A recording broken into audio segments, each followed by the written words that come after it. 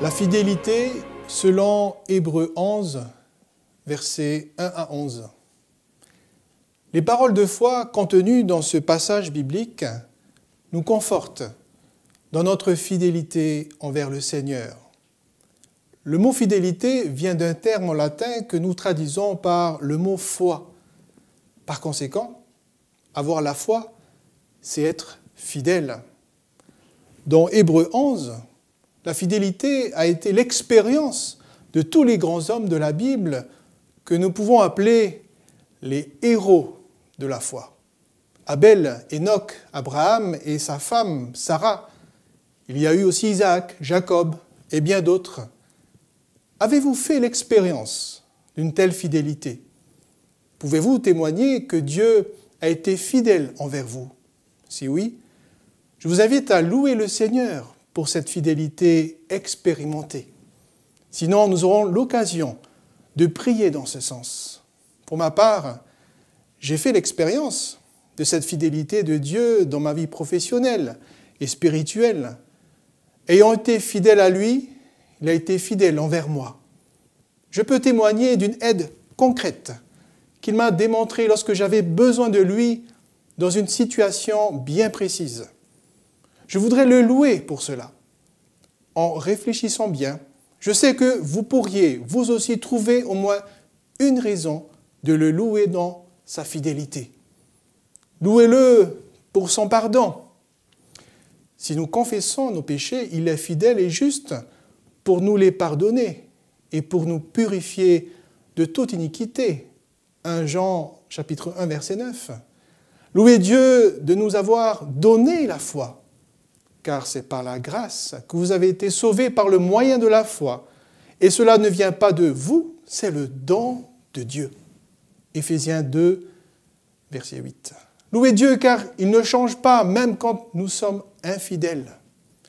Si nous sommes infidèles, il demeure fidèle car il ne peut se renier lui-même. De Timothée 2, verset 13. Louez Dieu car il récompense notre fidélité. Un homme fidèle est comblé de bénédictions. Proverbe 28, verset 20. Je vous offre quelques citations d'Ellen White. Chaque acte de la vie, même modeste, s'inscrit pour le bien ou le mal. La fidélité ou la négligence, dans ses apparentes petites tâches, peuvent ouvrir la porte aux plus riches, aux plus riches bénédictions ou aux plus grands malheurs de la vie. Le caractère est éprouvé par les petites choses. Ce sont les actes de tous les jours sans prétention, réalisés avec un cœur bien disposé, joyeux, qui plaisent à Dieu. Nous ne devons pas vivre pour nous-mêmes, mais pour les autres. Ce n'est que par l'oubli de soi, en chérissant un esprit d'amour et de service, que nous pourrons faire de notre vie une bénédiction. Les petites attentions, les petits actes de simple courtoisie contribuent largement au bonheur dans la vie, tandis que la négligence de ces actes constitue plus qu'une petite part de la misère humaine. Tiré d'un livre Conflit et courage à la page 52.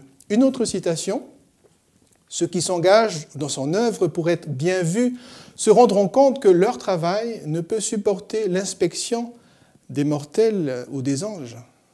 La chose essentielle pour le succès est une connaissance de Christ, car cette connaissance donnera de solides principes de droiture et créera un esprit noble et désintéressé, comme celui de notre Sauveur, que nous professons servir. La fidélité, la bonne gestion, l'attention, la rigueur devraient caractériser l'ensemble de notre travail, où que nous soyons, que ce soit dans la cuisine, à l'atelier, au bureau, à l'hôpital, au collège et partout où nous sommes placés dans la vigne du Seigneur. Celui qui est fidèle dans les petites choses l'est aussi dans les grandes, et celui qui est injuste dans les petites choses l'est aussi dans les grandes. Je vous invite aujourd'hui, chers amis, à prier pour cette qualité que nous devons avoir et qu'il nous faut préserver. Demandons avec persévérance cette fidélité au Seigneur, car Dieu est un Dieu fidèle. Pour cela, je vous propose trois sujets de prière.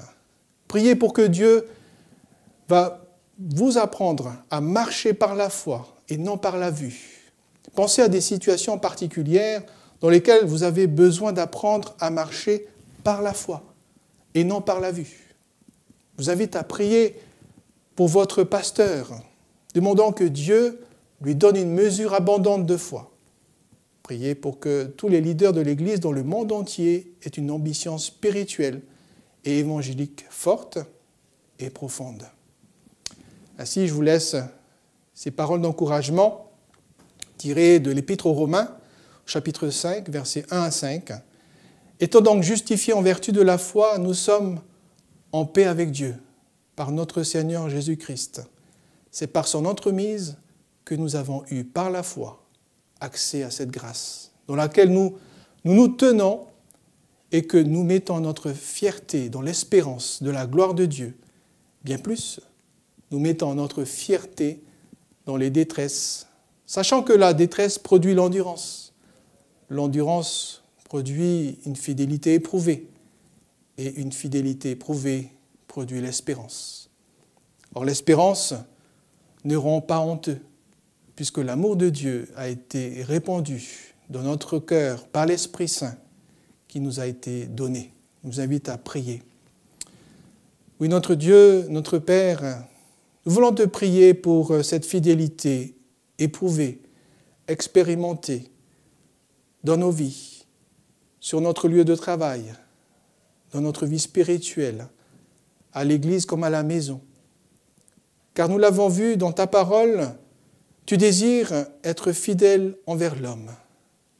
Chaque homme, chaque femme qui souhaite se réengager avec toi par la prière et permet que nous puissions continuer à méditer sur ces paroles et aussi continuer à espérer en ce jour glorieux où toute difficulté disparaîtra de notre vie quotidienne, dans des moments précis de la vie, car nous voulons te faire confiance en cette période de réflexion profonde de notre vie, et nous voulons te laisser agir par ton esprit.